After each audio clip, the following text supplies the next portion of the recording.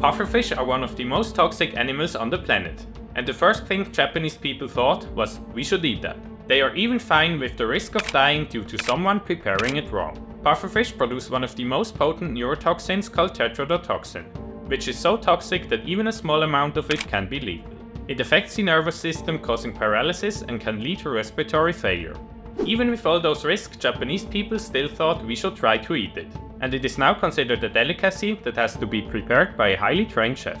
If these so-called fugu chefs, which is the Japanese name for pufferfish, make one wrong cut during preparation, their guests would most likely die within a few hours. Comment if you'd risk your life to try fugu and follow for more animal facts.